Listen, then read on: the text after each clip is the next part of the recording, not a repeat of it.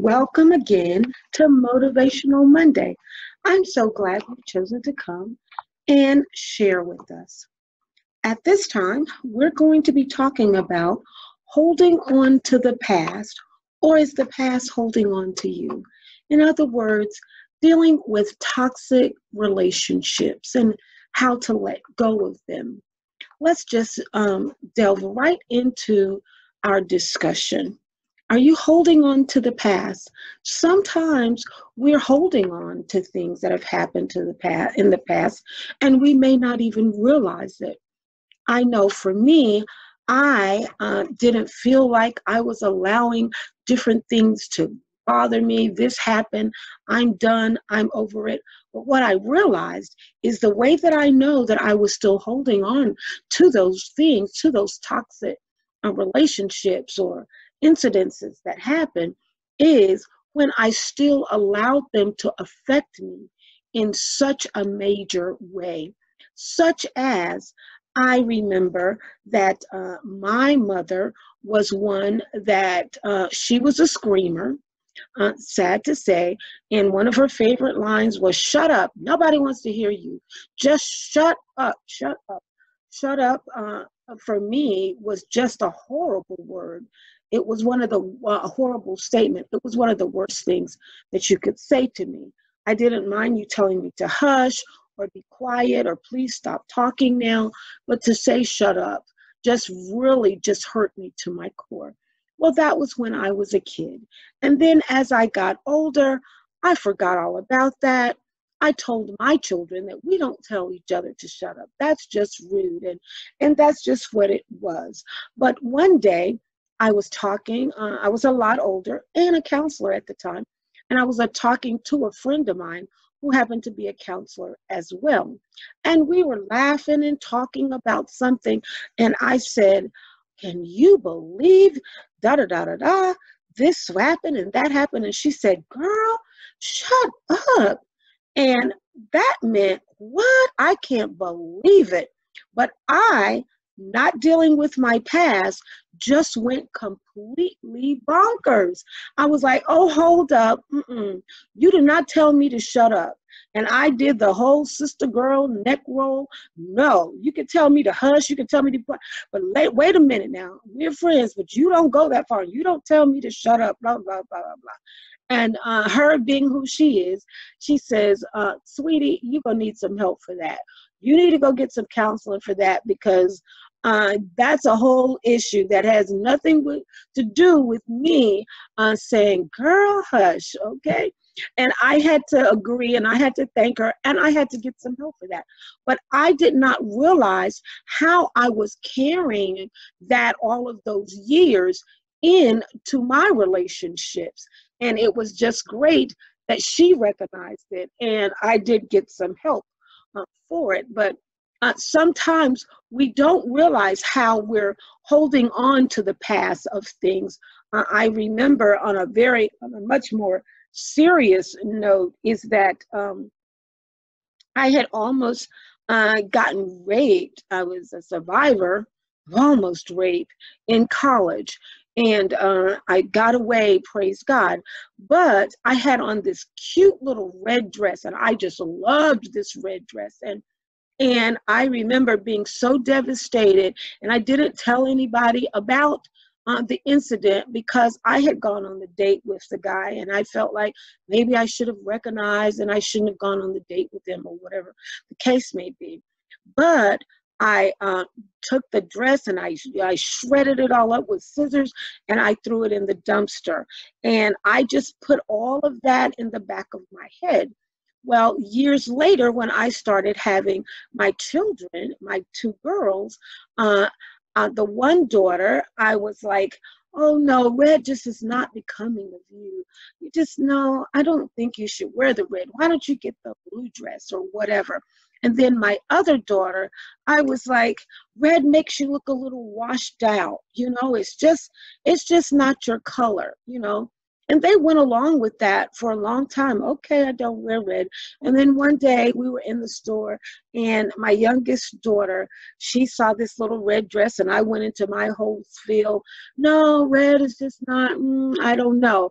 And she was like, Well, I don't care if it doesn't look good on me. I want it anyway because I like red and I want to wear it, you know. And I was just, I bought her the dress anyway, and every time she wore it, I was just like, mm, I don't like that. Oh, mm-mm, that does not look good. I didn't tell her, but I was saying it uh, in my own mind. And so once again, uh, my friend, being my friend, uh, she saw her. She said, "Oh, she looks so cute in that little dress." I don't ever even remember seeing her in red. I was like, "Because it does not look good on her." Da da da da. And she stopped me, like, "What is this really about now? Is this about her not looking good in red, or is this about some issue with you?"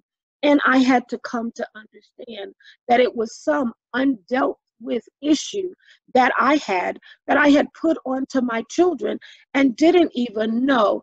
And thank God they were a lot more healthy than I healthy minded than I was at the time. And she was like, Well, I don't care what I look like. I want to wear red. And then my friend was bold enough to tell me the truth that uh, her wearing that cute little red dress doesn't have anything to do with what she looks like or doesn't look like. It has to do with you. And I was allowing those things to affect how I saw life, how I saw other people, how I dealt with other people. And this is all the while I was being a therapist. I was very new at the time. Now I'm 32 years in, but at the time, I had had counseling, but not to the level that I actually needed it because I had to recognize those issues myself before I could even uh, express it to the counselor that I am carrying some uh, toxic relationships from the past and it is affecting who I am now. And if I continue, it will affect my future. And I'm giving you those examples. Those are just a few. You may have some of your own examples, hopefully, by me using those. That has helped bring some things up in you because uh, sometimes, as I said, we're holding on uh, to the past and not even realizing that. Lots of times in relationships, in marriages, in partner, close partner relationships, uh, it affects our marriage. And our poor partners are trying to please. And oh, I brought her flowers. She still wasn't happy with that. She said she wanted me to take out the trash. I started doing that. Whatever the case may be, and poor man, you know, or whoever it is, uh, they're trying to please and they can't seem to please. And it actually has nothing to do with them. It has to do with the stuff that you're carrying. The past is holding you back, not just necessarily uh, um, the past holding on to you. It will hold on to you if you allow it to hold on to you. So it's very important that when we're adamant about stuff or things that make us very mad or very out of sorts or or, or things that cause us uh, deep anguish and anxiety is to actually think about those things. Where did this come from? Because uh, one of my um, favorite saying is everything comes from a place. It comes from a place. Uh, brothers and sisters or whoever i'm speaking to out there um, didn't just start with I don't like this, this, and this, and that, and that. Now, we do have, you know, our own flavor of things that we like. When I say flavor, I mean our own way of doing things and, you know, whatever. But when those things are something that's so seated and they bring up some kind of adverse effect in us, it's something to look at. I remember uh, years ago, I had um, a client and she was a Caucasian, beautiful young lady, but she was so adamant that uh, she was black. And I'm like, well, it's okay, you know, that if you identify with black, that's okay, but you're not black. And she was just uh, determined that she was.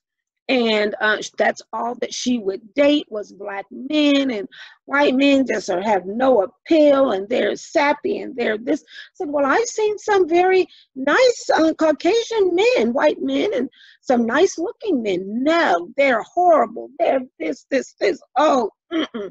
i would never have anything to do with them. And when we continued on in counseling uh, it was, you know, it was revealed that she had a lot of issues uh, that had been dealt with uh, by her white parents and other white people. And the black people who had been in her life had been so much of a positive. And at that time, she just thought, you know, this is who I relate with, and that's okay. And as I say, it's nothing wrong with your having a certain flavor. But when she was so adamant and any other race was just so horrible and so wrong, then I knew that she was holding on to something that was affecting her future and her present. And um, she was able to really work through and deal with those things. It may not be as drastic as mine was or as that uh, you know, or as that client almost 30 years ago. Uh, it can be something a whole lot simpler. I, I saw this little uh, joke one time, but it was so poignant of this um, this new couple, and this was their first Thanksgiving, and they decided we don't want to have it with family.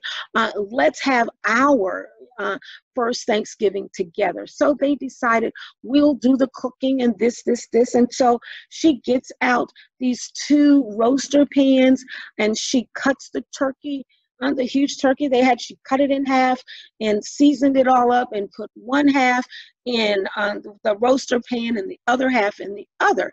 And her husband is like what in the world? Why are you destroying that turkey like that? Why are you doing that why didn't you just bake the turkey whole? She says, Because that's the proper way you do it. You have to put one half in one pan and another half in another pan. You don't ever, you know, like who puts a whole turkey? He's like, Where in the world? What what planet did you come from? She says, That's how it was always done in my family. That's how my mom did it. That's how my grandmother does it. That's just how it's supposed to be done. So he says, Well, let's call your mom and let's find out why she does that, why she started baking it like that. And so the mom was like, Yes, you put one half in one and one in the other. That's how we've always done it. So she's like, Mom, why do we do that? And she was like, Well, you know what? Hadn't really thought about it that's just what we did. Uh, your grandmother, you know, was that's how I was raised, and that's how I baked the turkey. And so she was like, hmm, maybe let's call grandma and, and ask her. And so they called her grandmother and they asked, and her grandmother, she was like, you know, grandma, I put the one half in the one pan, the other half, and my husband just had a fit. And I asked my mom, she said she didn't know that's just what you did. And grandma was just falling out laughing. She was just laughing. And she says, Oh, baby, are you all still doing that? She was like, the only reason I did it was because I was too poor to get a big, gigantic roaster pan, and I had two small pans, and so that's what I used. But no, I don't even do that anymore. I have now, I'm able to buy a whole pan. And so that was affecting uh, her relationship, something that she did not even know exactly where it existed from and why it was a thing that was handed down to her family. But when her husband suggested something, it was totally wrong. And it was out of a need for the grandmother. But sometimes we carry on traditions, we carry on things, we deal with things, and uh, it's not our truth, it's somebody else's truth that is put on us, and we have carried it into our life and into our relationships. So, holding on to the past when it's a toxic thing or and when as i said you will know it's toxic if it's something that deep in your heart this is totally wrong and it's just unacceptable and i don't understand it. If it brings about some hard deep feelings it may just be needing to take a second look as to exactly where this came from. Because now, with me, with someone saying, shut up, I also now know it wasn't the words shut up that affected me. It was that as a kid, I felt like what I thought didn't matter and I felt disrespected. And so I was able moving forward to say, that makes me feel disrespected whenever you say the word shut up. So I needed to have, excuse me, to uh, be able to say that what I said, someone acknowledged it, that it was important, and allowed me to talk. And so it wasn't the words just just shut up in itself. And it made me go back and look at some of those things in my life that were so hard, fast, and true and see that they came out of toxic things. And I'm hoping that uh, our little talk with this may help you to uh, say, I have some things in my life, and uh, they may not be as abstract. They may be things that you know are toxic in your life, okay? And you keep on repeating those things and keep going back uh, to those toxic things. Uh, let me say real quick, I don't want to uh, delve so deeply in it, but um, just on the surface right now, is because of the neurons, the pathways in our brain, which are actually but they are, are habits that have been formed either from hereditary, you know, uh, from environmental, uh, all of the things that you brought with you when you were born and then developed because of the environment that you were born in. Those things are there. And sometimes uh, they cannot be positive. And so you're trying to get rid of toxic things in your life and you can't understand why you're going to have to deal with the root of the problem. I see this is not just, you know, I have a, you know, smile like my granddad or I have feet like my mom or whatever the case may be. But I've inherited some things from them that were may not all be positive. And so some of it is just not the toxic relationships that you have developed, but some that you brought in the world with you.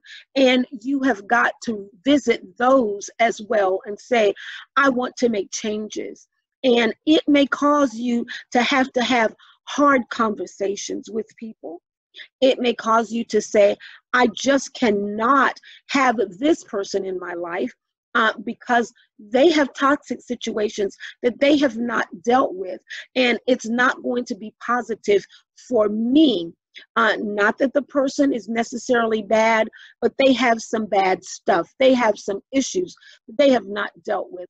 And I know a lot of times, especially as women, we feel like that we can help overcome, that love conquers all and all of that, you know. And in some cases, that's true.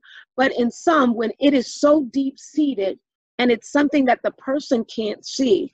You trying to love on them and support them and be that and all of that, and it does not always manifest in a positive way. It will bring you down. It will make you a toxic person. It can make you not live out the positive truth that's in your life because you're trying to be this person for them. So let's remember those things is that sometimes uh, the best way to help a person is to say, you need to go get help from that. And after you have done that work, and uh, dealt with those issues and where you are in that, then maybe we can revisit the relationship. And sometimes, uh, if that person never gets that right, the way you can love them the best is by uh, leaving that toxic relationship so that you can be the best person that you can be. I hope that with our motivational Mondays uh, that you found some insight. I'm not trying to bog us down with stuff. All I want to do is just motivate us to be the best people that we can get, that we can be. And as I have said before, uh, my email address, if you would like to uh, ask me questions or you would like for me to speak more on a certain thing, or if you even have some ideas of some topics that you would like for me to delve into, uh, please feel free to email me at unitedfor54 at gmail.com. That's United for Life 54 at gmail. And as always, thank you so much for coming and visiting and have a great, motivated Monday and rest of the week.